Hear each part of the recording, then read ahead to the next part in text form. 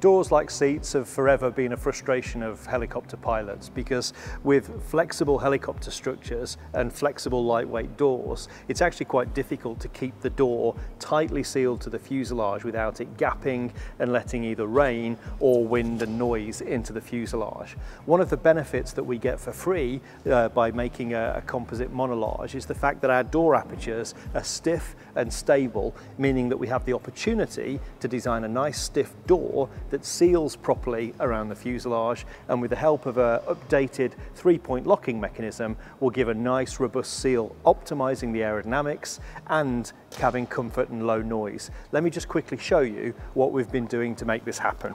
We're retaining the aerodynamic flush fitting door handles to optimize the aerodynamics of the, the airframe, but pretty much everything else about the door recipe has been updated for the Gen 2 fuselage. So in the original doors, we had a traditional foam core composite panel. So a foam on the, the back to create the box section that gives the door its structural stiffness and integrity, and then a carbon bond flange and a carbon skin on the front, over which we then bonded the uh, glazing material. In order to optimize the weight and stiffness of the panel, we've now eliminated the foam cores and we make a simple uh, hollow channel that provides the structural beam that runs around the perimeter of the door. And then to close that panel, we actually bond the window material directly to the outside of the door, closing off the box section and allowing us to develop the structural strength and stiffness that we need.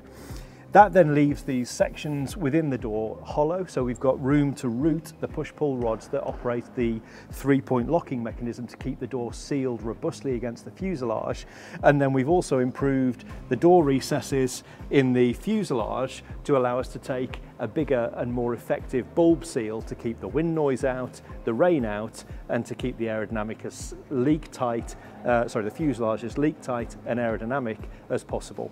Let's go and have a look at how we're making these panels down in the composite shop. The design team upstairs detail up the overall design of the door, including all the locking mechanism, the sealing mechanism, the structural elements. That's then analysed using finite element analysis to optimise the strength and stiffness of the door against all of the loads that it has to see. Once they've done that, they can then issue the ply book, which allows us to take rolls of carbon fibre and then use the CNC kit cutting machine to cut out the individual laminates that must then be laid into the tools next door in the laminating shop to build up the structure of the door. So on the top of the door, as I've just explained, we close the outside of the door by bonding on the glazing panel, and on the lower half of the door, we've still got a painted carbon skin to close off those box sections and create the structural integrity that we need.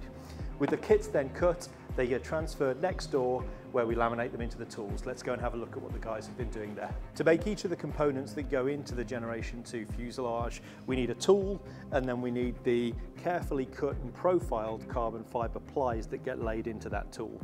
The new CNC cut plies are delivered to the correct tool to make the part and then the guys laminate the carbon fibre into the tool, making sure that the carbon fibre lies, lies down into each of the contours of the mould to create the shapes that are required for the HX50 fuselage. Once they're in the tool, they're then bagged, uh, debulked, and then finally bagged ready for curing next door in the oven. One of the things that we've been developing over the course of the last couple of weeks is the recipe for both the structural and the non-structural panels that we need for various parts of the fuselage. So this particular test panel has got the carbon fibre that you can see here in the required numbers of plies and orientations.